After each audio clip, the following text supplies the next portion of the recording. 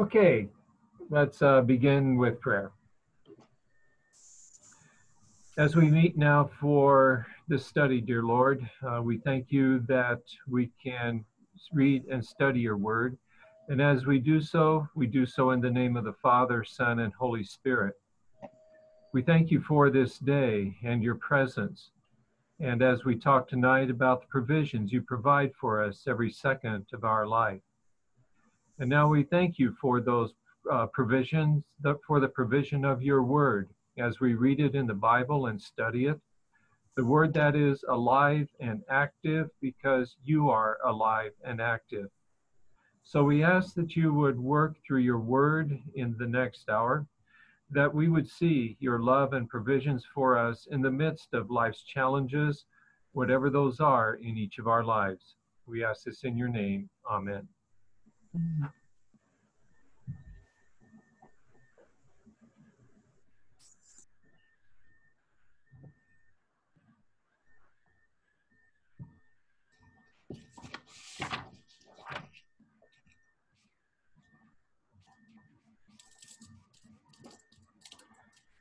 everybody see the slide? Yes. Okay, good, good. Yes.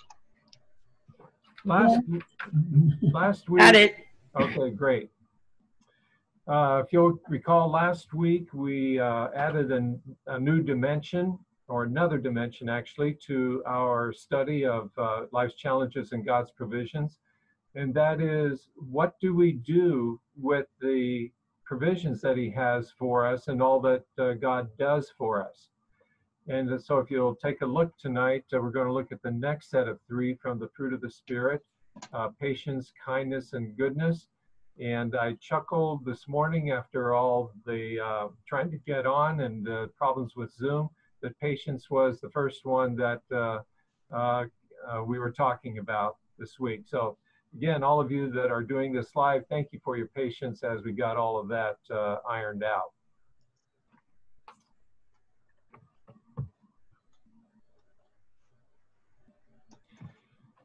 Before we dig into uh, biblical passages regarding uh, patience, um, does anybody have a definition that they like for patience or your thought about patience?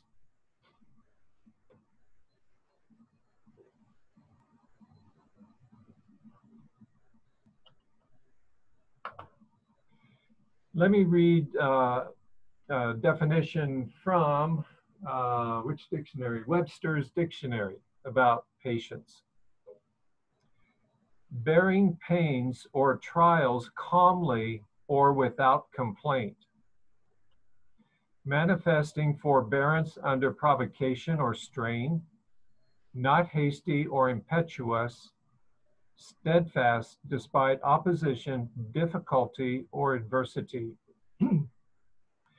And when I read that in light of this study, I thought, yeah, uh, that's that's exactly uh, what kind of what we've been talking about in this study, uh, because even the definition of patience uses the words like pains, uh, trials, uh, provocation, opposition, difficulty, adversity, and uh, you know, as we think about the chi- the trials of life, challenges of life uh, maybe those, there's a word or two in there that you think, yep, that fits my life at this particular uh, particular time.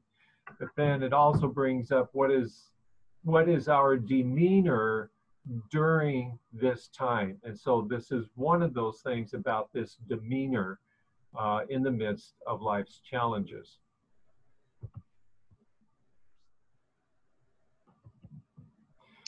So, uh, patience. Uh, depending on the translation you use, other word other uh, words that are used are either long suffering or forbearance. Um, so we're going to take a look at the, these four passages uh, regarding uh, God's patience with us. First of all, Romans 2. Or do you show contempt for the riches of his kindness, tolerance, and patience, not realizing that God's kindness leads you toward repentance? First Timothy. Here is a trustworthy saying that deserves full acceptance. Christ Jesus came into the world to save sinners, of whom I am the worst. But for that very reason I was shown mercy, so that in me, the worst of sinners, Christ Jesus might display his unlimited patience as an example for those who would believe on him and receive eternal life. 1 Peter 3 For Christ died for sins once for all, the righteous for the unrighteous, to bring you to God. He was put to death in the body, but made alive by the Spirit, through whom he also went and preached to the spirits in prison who disobeyed long ago when God waited patiently in the days of Noah while the ark was being built. In it, only a few people, eight in all, were saved through water. Second Peter. The Lord is not slow in keeping his promise, as some understand slowness. he is patient with patient with you, not wanting anyone to perish, but everyone to come to repentance. Bear in mind that our Lord's patience means salvation just as our dear brother Paul also wrote you with the wisdom that God gave him. Okay, what strikes you about these passages?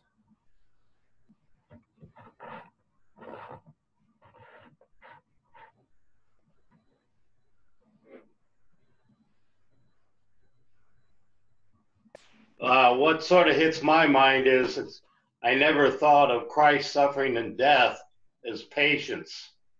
And yet some of these patches, passages seem to point that direction.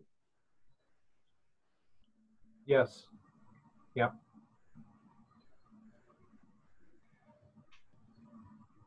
These pa- the mo- almost all the passages in the New Testament regarding patience, uh, God's patience towards us, has this theme in it. And the theme is our salvation. Uh, it's very interesting because some of the others we've looked at, uh, the aspects of the fruit of the Spirit, and some we will continue to look at, uh, really deal with kind of the uh, kind of the daily living idea uh, as we go th- uh, through our daily walk, and this certainly applies to that. But this, these four really point to a spiritual value in it and uh, regarding uh, salvation and uh, the patience of God uh, regarding us as sinners. Um, I don't know about you, but I, I, often think, man, if I was God, uh, I'm not sure I would have been that patient with uh, with people. in the Old Testament, you know, how long was God patient with people from the time of uh, the Exodus in 1400, we think about all the way to when God's uh, patience, in a way, came, came to an end in around 500, you have almost a thousand years where God patiently waited for people to understand his relationship with him and wanting people to worship him, him alone, get rid of all the idols and stuff. Uh, hundreds of years he waited and was patient. And finally, he said, I, have tried everything. I don't know what else to do other than to destroy the kingdoms. Maybe that will bring them back to me. And we know that that happened. Was not a pretty pretty scene what happened, but this is the idea of the remnant then that would come back, rebuild, and realize their mistakes. And so, um, you know, the patience of God, uh, we see the Old Testament example of that uh, as well.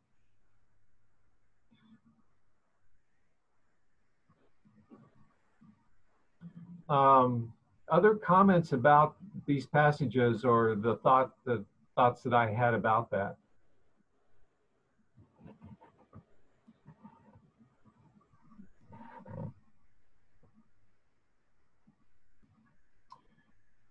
Okay, uh, next. Uh, patience. How about our patience in faith? First of all, Isaiah 7. Then Isaiah said, Hear now, you house of David, Is it not enough to try the patience of men? Will you try the patience of my God also? Okay, just stop there. How is the house of David trying the patience of Isaiah? Because that's what he's talking about here.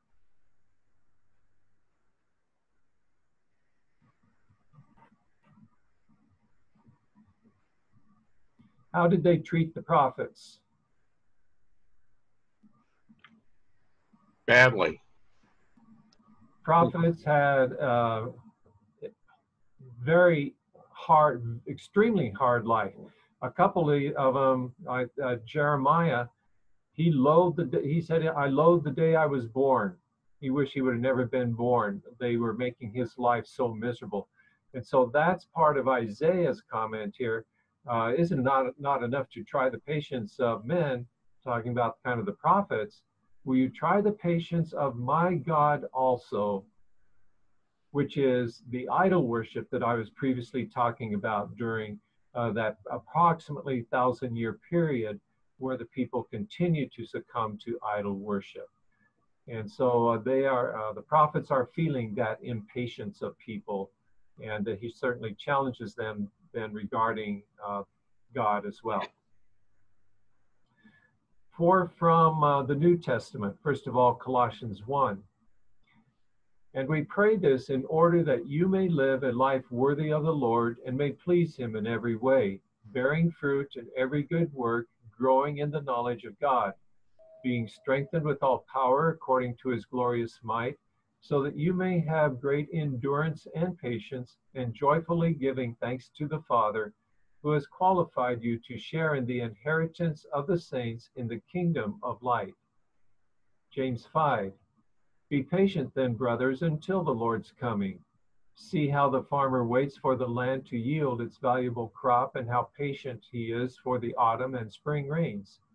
You too, be patient and stand firm because the Lord's coming is near. In James 5, uh, uh, verse 10, uh, brothers, as an example of patience in the face of suffering, take the prophets who spoke in the name of the Lord. And Revelation 13, if anyone is to go into captivity, into captivity he will go. If anyone is to be killed with the sword, with the sword he will be killed. This calls for patient endurance and faithfulness on the part of the saints. And first of all, this, uh, let me get this, the laser pointing. This James 5 passage uh, takes us back to the prophets that we were talking about in the previous slide, as well as up here in Isaiah 7. Comments about these four or any one of them?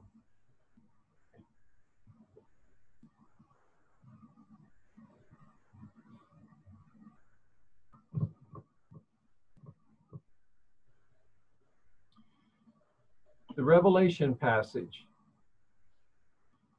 really helps us to remember that the early Christian church got off to a horrible start, not in the terms spiritually, but as far as the persecution that it underwent.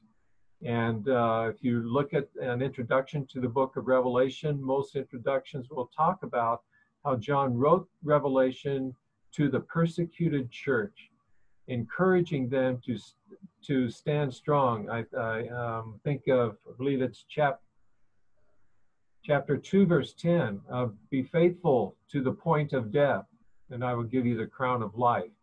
And so, add uh, encouragements like that, and encouragements like here in chapter 13 that uh, being captivity, even being killed, this calls for patient endurance and faithfulness on the part of the saints.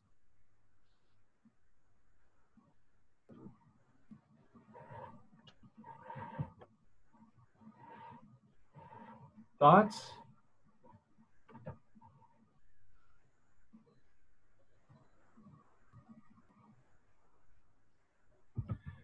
One more slide regarding patience, and that is patience uh, us with others. And the first paragraph is four, uh, prop, uh, four examples from Proverbs 14, 15, 19, and 25. A patient man has great understanding, but a quick tempered man displays folly. A hot tempered man stirs up dissension, but a patient man calms a quarrel. A man's wisdom gives him patience. It is to his glory to, to overlook an offense. Through patience, a ruler can be persuaded, and a gentle tongue can break a bone. Then, four from the New Testament First Corinthians, love is patient. Ephesians, be completely humble and gentle. Be patient, bearing with one another in love. First Thessalonians, and we urge you, brothers, warn those who are idle, encourage the timid, help the weak, be patient with everyone. And then Second Timothy, preach the word, be prepared in season and out of season, correct, rebuke, and encourage with great patience and careful instruction.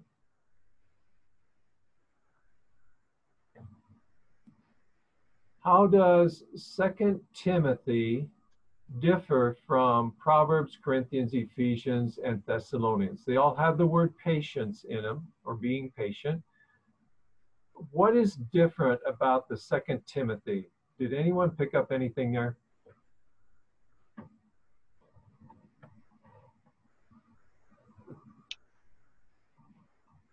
Um, correct, rebuke, and encourage with great patience.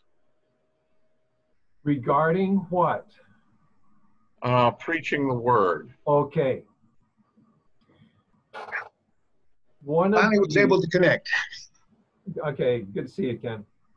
One of the things that happens when uh, there's a, a person a person that comes to faith, and uh, for lack of better terms, we call them a new Christian. Uh, it's easy to kind of lose patience in that uh, for those of us who maybe been Christians all of our lives, we go, yeah, duh, with some questions they may ask. But we need to understand that this is such a radical change for them in their lives that it's it takes a while to filter through all of that so they can begin to grasp the riches of this faith and we need to be patient with that um, paul uh, or starting off with saul uh, when uh, jesus met him on the road to damascus uh, he did not jump into uh, his mission work right away. Uh, kind of depending on uh, who you read, he spent at least three years doing this, uh, reading, studying, letting others help him. Uh, others probably maybe encouraging him, correcting him when he had a wrong idea, so that then he would be prepared to go out. And so it requires great patience sometimes with people uh, if, when they would come to faith and just encourage them and, uh, and walk with them and that kind of thing. So I know I spent a lot of time on that. Uh, feel free to react to that uh, thought or any of those uh, other four passages.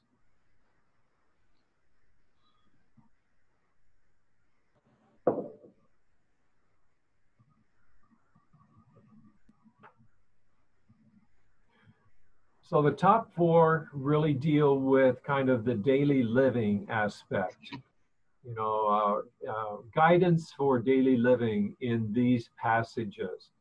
Uh, the second Timothy takes us kind of a bit of a different direction uh, regarding the spiritual aspect.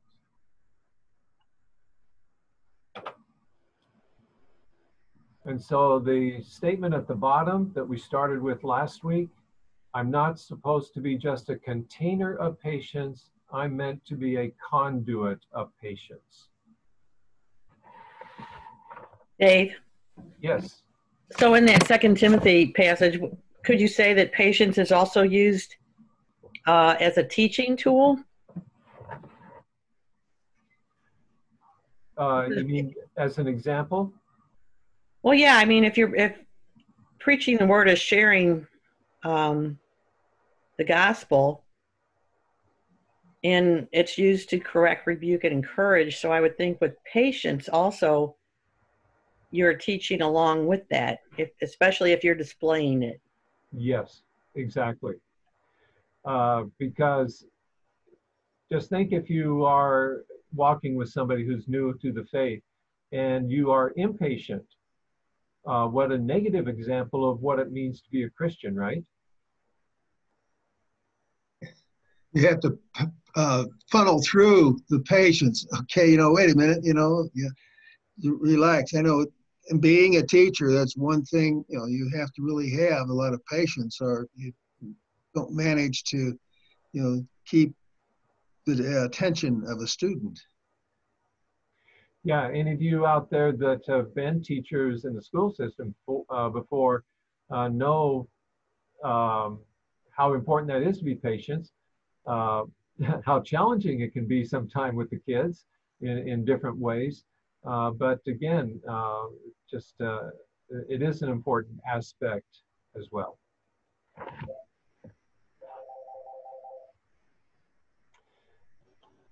Okay, let's uh, Dave? Yes. It seems to me that uh, what I'm getting out of this is there there is spiritual wisdom. and the spiritual wisdom, wisdom comes uh, which helps grow our patience. Do you see what I'm trying to say? Okay, so wisdom and patience going hand in hand, kind of thing. Right. And the more you know the word, which is wisdom, the stronger your patience can become. Kind of up here in Proverbs? Uh, yes, sir. Yep, good.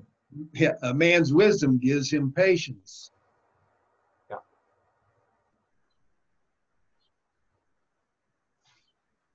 Well, the wisdom would also help you be completely humble and gentle when you're speaking with people. Okay, exactly. Exactly.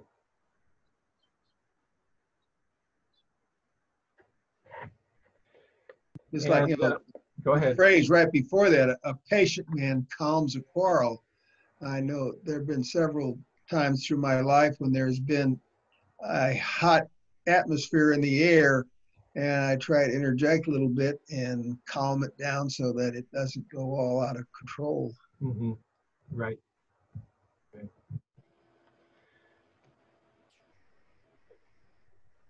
Getting back to our introduction last week of the fruit of the spirit, just a reminder that uh, you know we talked about this patience being one where many people will say, "Well, uh, God left me out when it came to the patience part uh, department."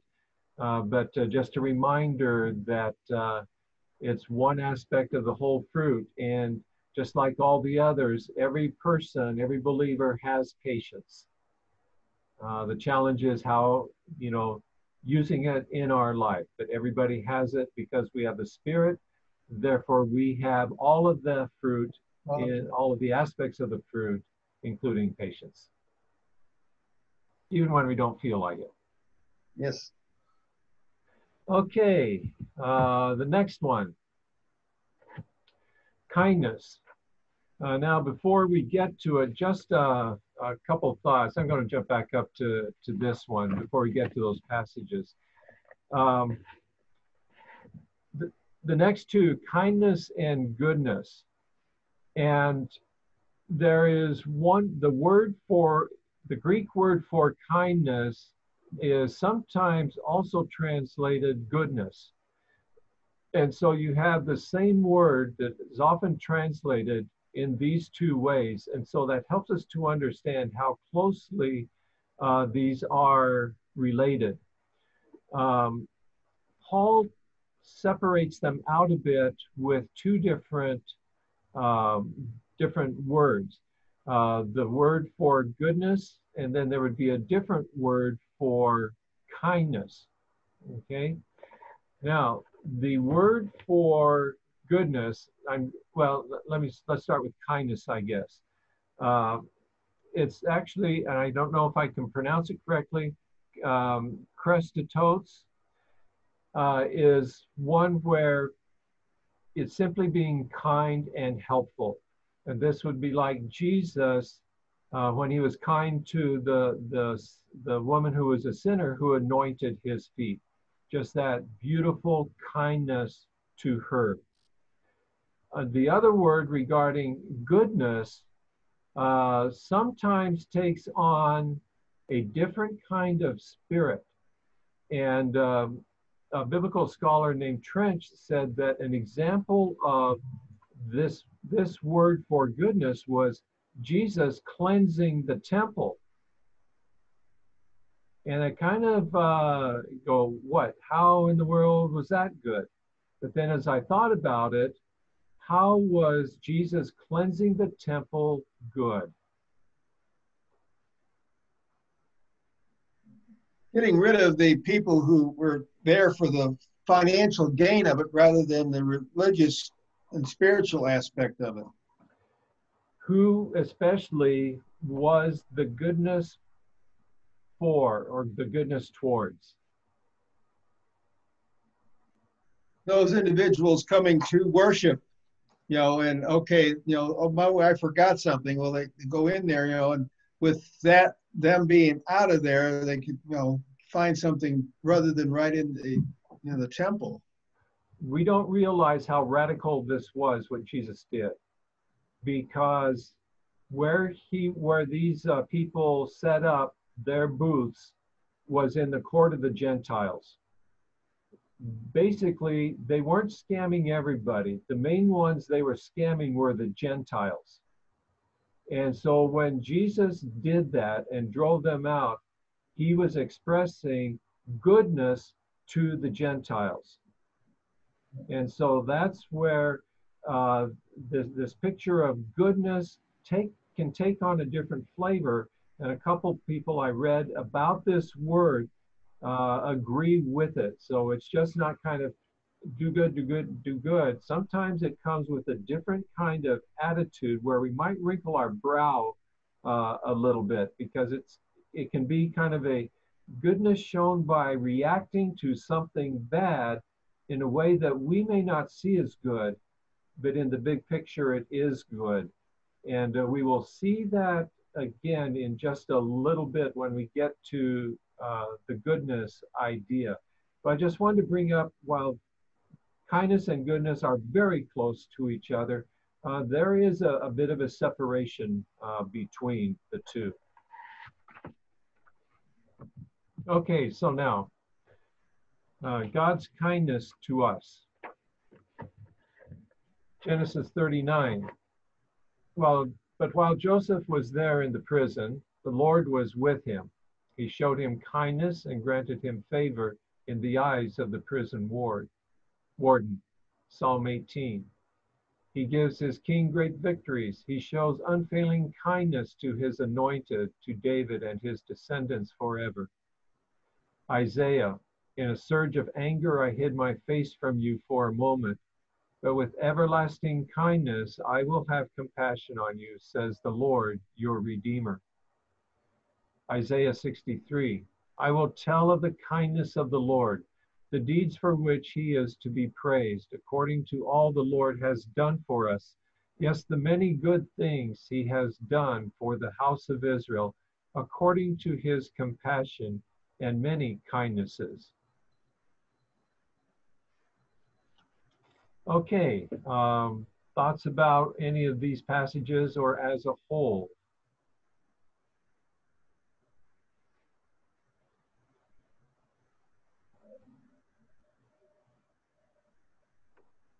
Overall, sometimes it looks like maybe you know he's not showing us kindness. You know, when we run into some difficulty, but over the long run, yeah, if you maybe today you can't see it, but a year from now, oh yes, he was showing me kindness at that time.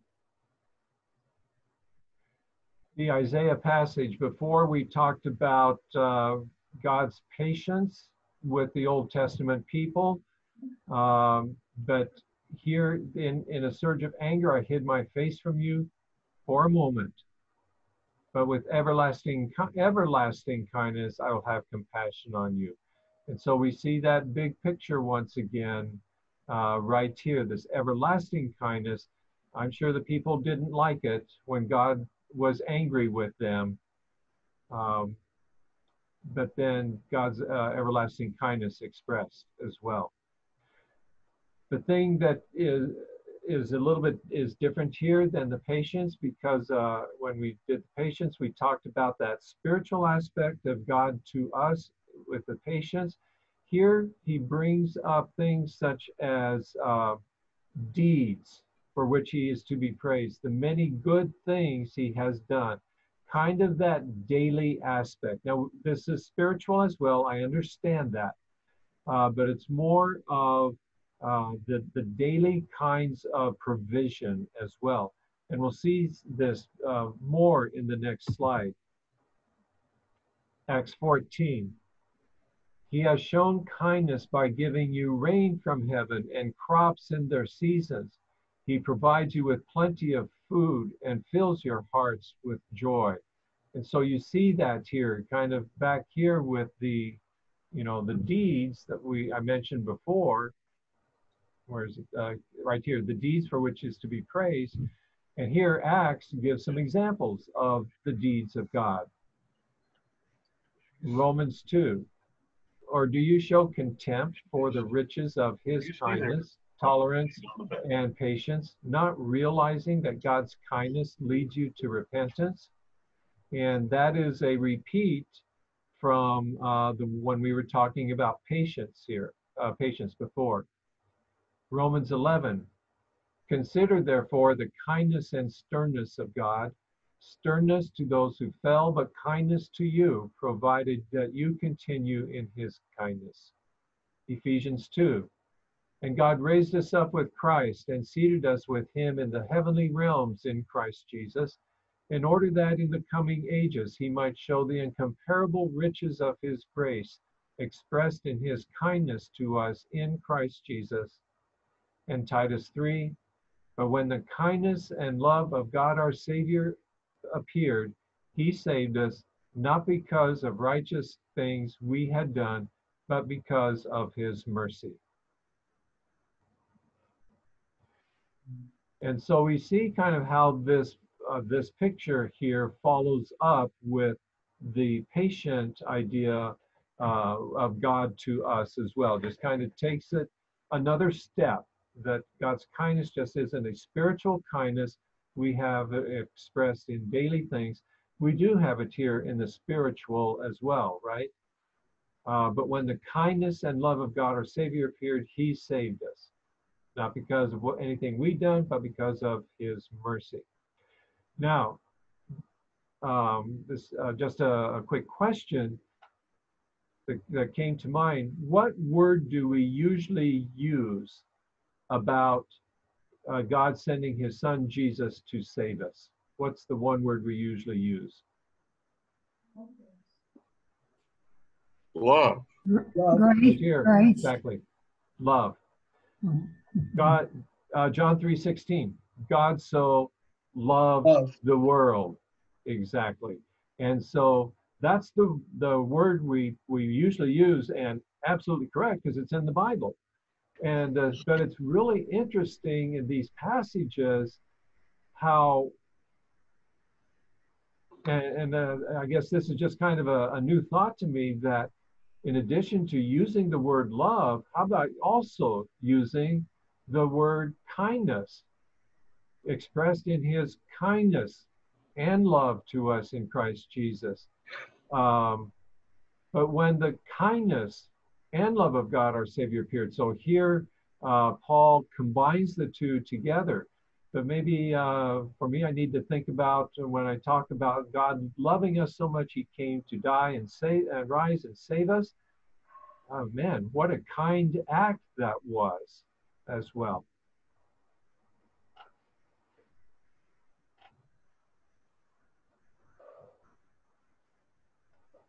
Anyone?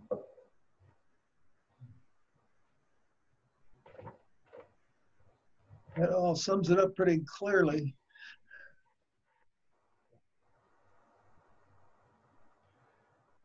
Okay. Uh, how about, yes, go ahead.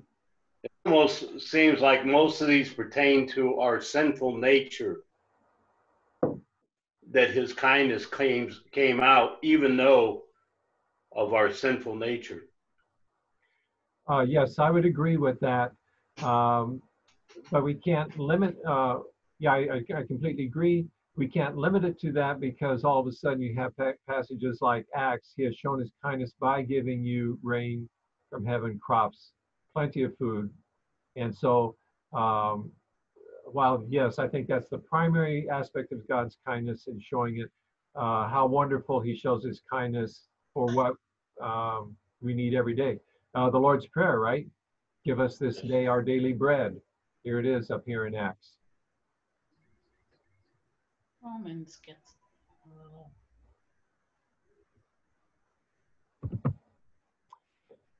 All right, uh, what do we do with it? Uh, Psalm 141.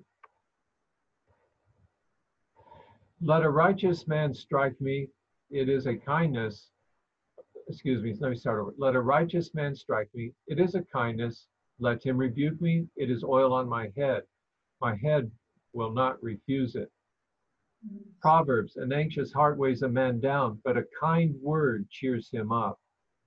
Also, Proverbs, he who despises his neighbor's sins, but blesses he who is kind to the needy. And First Corinthians, love is patient, love is kind. Second Corinthians, rather as servants of God, we commend ourselves in every way, in purity, understanding, patience, and kindness. Ephesians 4, be kind and compassionate to one another, forgiving each other, just as Christ, in Christ, God forgave you.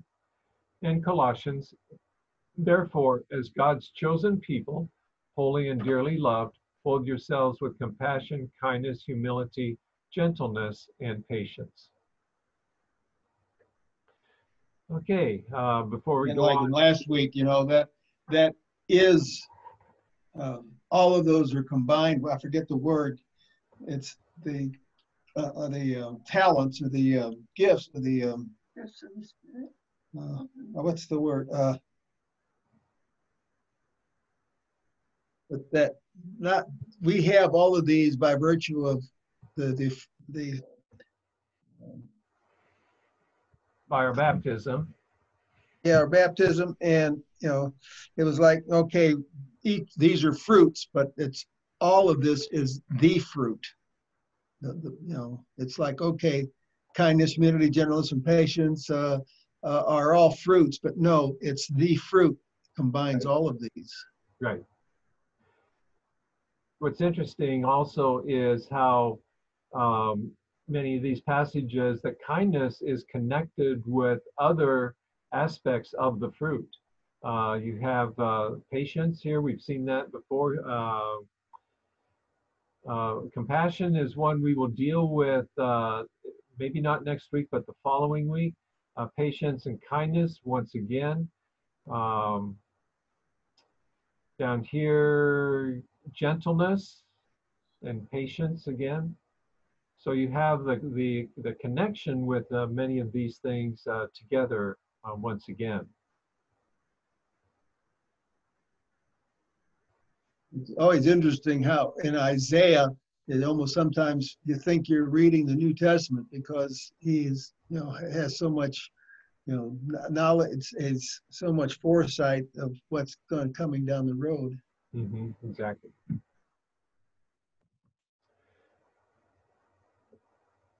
All right, uh, First Thessalonians.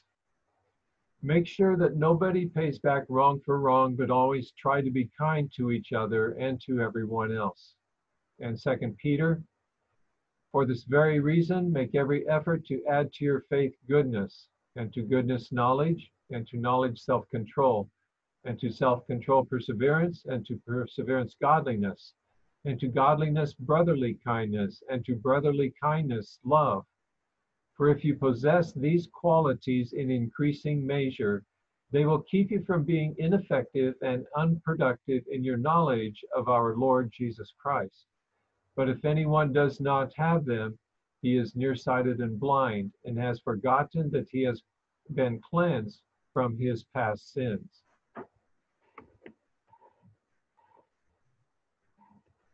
Okay, uh, thoughts about this? It, it's very easy to get into a you know uh, um, fault finding situation with somebody before you you know just like you know you got to clean the mote out of your eye before you get the splinter of your uh, brother's eye. And sometimes you see someone doing something and you think well that's terrible but wait a minute if they're looking at what you're doing they think you're even worse. So you've got to you know as a child of god you have to watch yourself intently it's just like I still get the story of the police officer that pulls the lady over, you know, and says, was afraid you were in a stolen car because uh, it says, you know, what would Jesus do and God is love and all this other stuff on the bumper, and you were giving the finger and everything else to the driver in front of you. So I thought maybe you were in a stolen car. Uh, Marcia, you still there? Yeah, I'm here. Uh, does this strike you with anything that you said before? Um, Right here, because you were talking about patience. If we don't exude that, then what happens? We become ineffective and unproductive, right? correct. Yeah.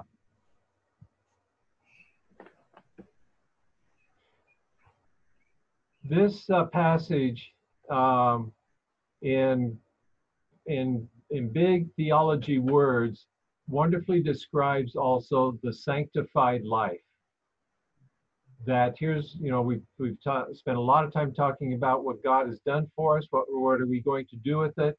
And you just read this, here's what it means to live as a Christian. That is what this, the sanctified life means. Here's a good definition of it right here. And also, uh, I think uh, one, probably last week, we also talked about uh, as long as we're on earth, we will be a work in progress.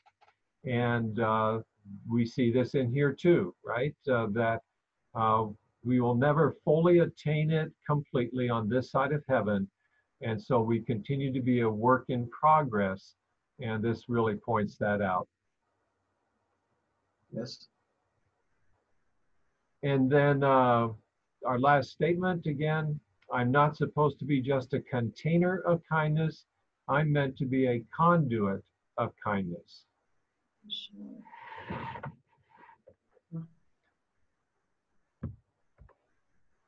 Okay, anyone else? Uh, a comment about kindness aspect?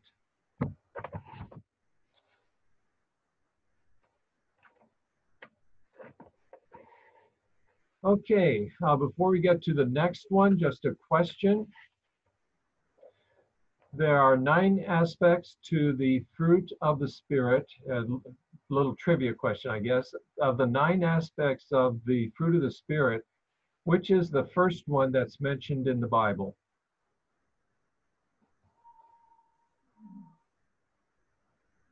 Love, just Nope. guessing. Nope.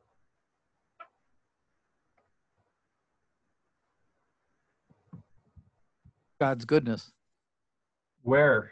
Where do we find it? You're, you're right. Genesis. There we go. Isn't it fascinating? We're back to Genesis again. One of my favorite topics. Here we go. Genesis 1. God saw that the light was good. God saw all that he had made, and it was very good. This aspect of God, this aspect of the fruit of the Spirit, comes up immediately in Genesis chapter 1 that the essence of the goodness of God is displayed in his creation. And I just think that's really uh, fascinating uh, that all of a sudden, that I'd never, I'd not made that, that connection before working on this, that all of a sudden that we have the fruit of the Spirit uh, uh, this aspect takes us right back to Genesis. And that was the first aspect of the fruit of the Spirit, uh, the, this aspect of who God is. He is good, shows up in his creative activity. Psalm 23 Surely goodness and love will follow me all the days of my life. Uh, now that's the NIV. Uh, um, we know the King James, surely goodness and mercy will follow me. Psalm 27, I am still confident of this. I will see the goodness of the Lord in the land of the living. Psalm 31, how great is your goodness, which you have stored up for those who fear you, which you bestow in the sight of men on those who take refuge in you. Psalm 118, Give thanks to the Lord, for he is good. His love endures forever. Psalm 65 and 68. You crown the year with your bounty, and your carts overflow with abundance. Your people settle in it, and from your bounty, O God, you provided for the poor. Psalm 107 Let them give thanks to the Lord for his unfailing love and his wonderful deeds for men. And then uh, let's wait to the to get to John in just a second. But I think, you know, uh, Psalm 118.1 is, uh, uh, won't say most quoted, but highly quoted uh, verses of the Bible. Give Thanks Exactly. For he is good, for his love endures forever. You know, And this is just a small sample of how often the goodness of God is mentioned in Psalm. I don't know, but it seems to me also that we were talking about interchanging kindness and love. You can see it here too with good and goodness. You can interchange with the word love. There we go. So maybe love just encompasses a lot of all of this. I mean, it's just all these aspects of love and of of uh, goodness of God. And so if we think about the nine aspects of the of the fruit, the first one that's mentioned is love, right? And maybe there's something to that. In other words, that while uh, imagine my whiteboard back here, you know, I like doing that. While you have the fruit of the spirit being kind of that the the fruit being the umbrella and under that you have the nine aspects. Uh, maybe there's another umbrella over the whole thing, and that is love. And then these other eight are all uh, uh, examples, for uh, lack of a better word, examples of love.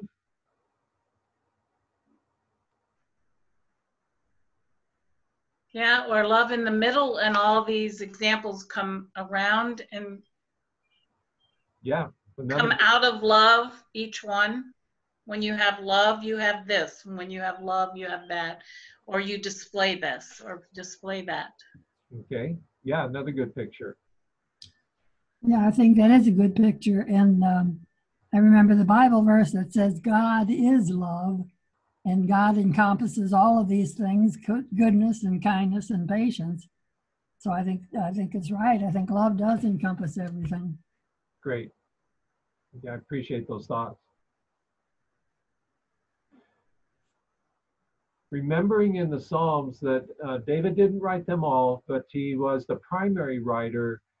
And you think of the life of David, and we've talked about that a number of times the contrast in his life between uh, just being uh, uh, uh, uh, really, really bad sinner, bad person, you know, adultery, murder, uh, had a horrible family life, a horrible father many times and stuff. Um, and yet, the contrast to that in Psalms is how often David says, despite who I am as a sinner, how good God is to me.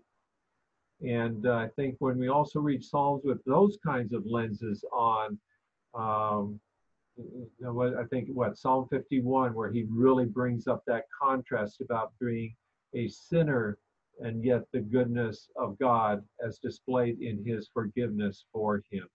And so I don't think there's any accident uh, why uh, David uh, wrote and used that word, the goodness of God, so often in the book of Psalms. And then one more on the bottom of this page, John 10, 11 and 14. I am the good shepherd. The good shepherd lays down his life for the sheep. I am the good shepherd. I know my sheep, and my sheep know me.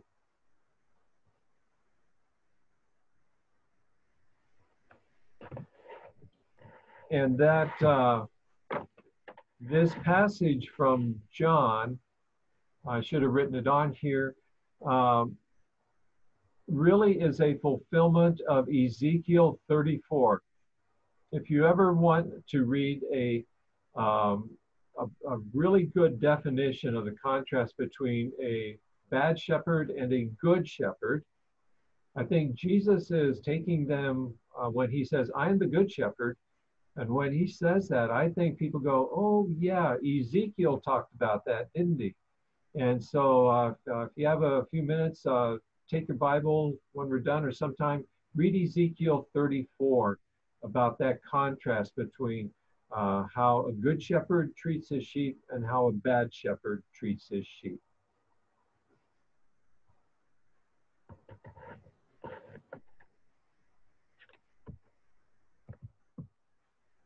Two passages on this slide. First Chronicles be strong and let us fight bravely for our people and the cities of our God. The Lord will do what is good in his sight. Romans 8. And we know that in all things God works for the good of those who love him, who have been called according to his purpose. For those God foreknew, he also predestined to be conformed to the likeness of his Son, that he might be the firstborn among many brothers. Now, we spent a uh, bit of time talking about this uh, in one of the previous weeks, but in the discussion of the goodness of God, uh, what are your thoughts about this, or how does this uh, broaden our definition of the goodness of God?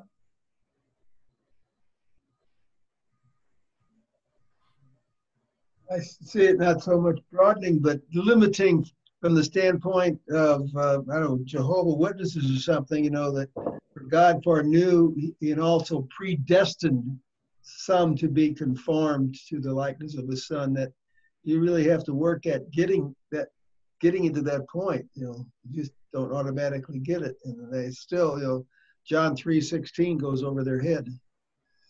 Yeah.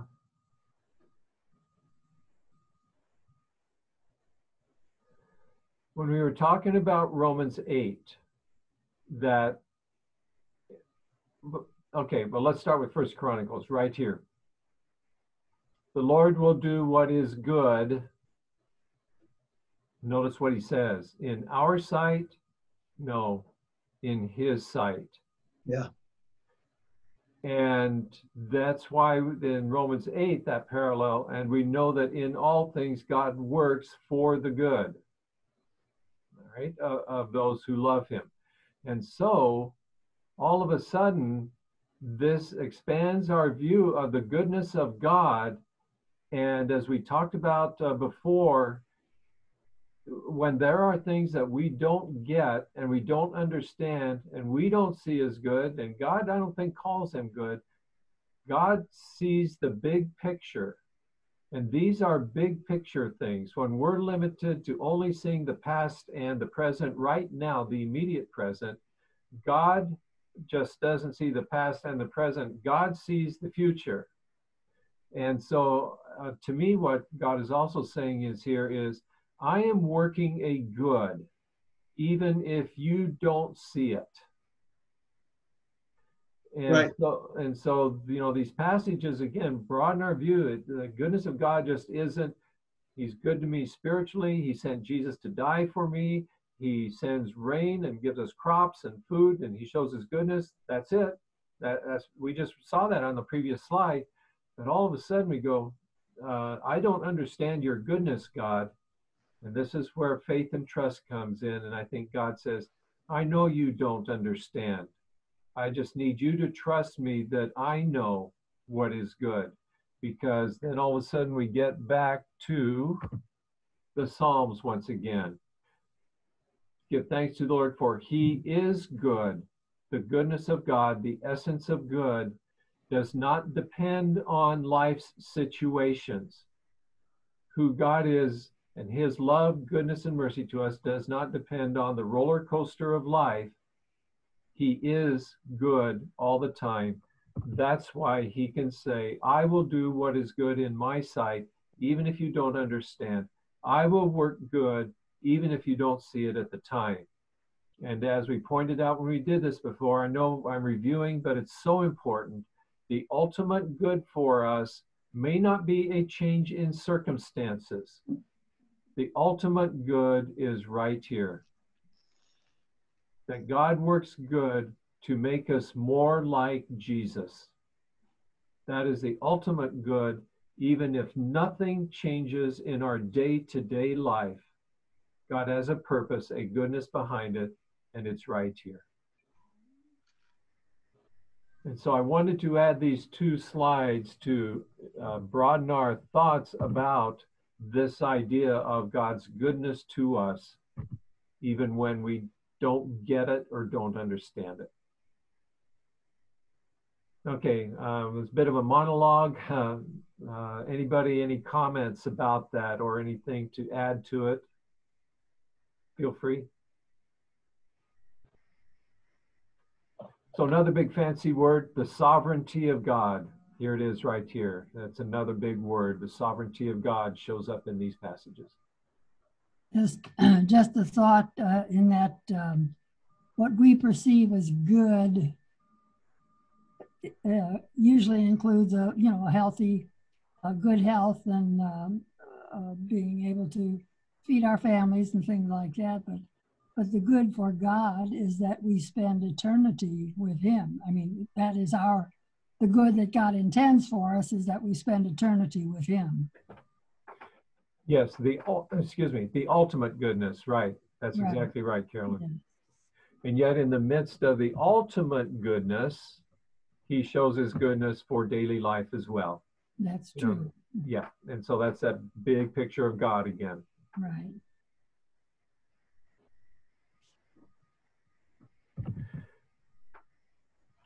goodness. How about us to others? Matthew 5. In the same way, let your light shine before men that they may see your good deeds and praise your Father in heaven. Romans, I am convinced, my brothers, that you yourselves are full of goodness, complete in knowledge, and competent to instruct one another. Psalms, they will celebrate your abundant goodness and joyfully sing of your righteousness. Uh, so this one takes as kind of our response to God. Uh, the, uh, the, we show our goodness in how we uh, praise God and joyfully sing for, to God for his righteousness. Ephesians 5. For once you were darkness, but now you are light in the Lord. Live as children of light. For the fruit of the light consists in all goodness, righteousness, and truth.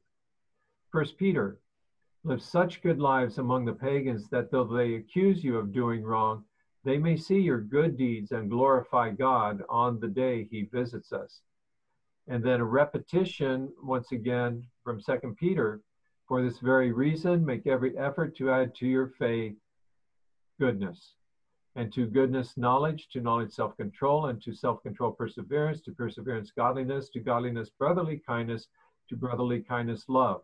For if you possess these qualities in increasing measure, they will keep you from being ineffective and unproductive in your knowledge of our Lord Jesus Christ. And that ties in with uh, in First Peter, when we live such good lives, they see our good deeds. And so this sanctified life that we talked about before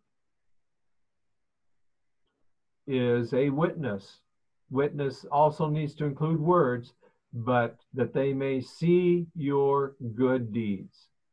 And so, how we live our lives, how he describes, Peter describes it in his second letter here, uh, that can be a witness to uh, to those around us as well.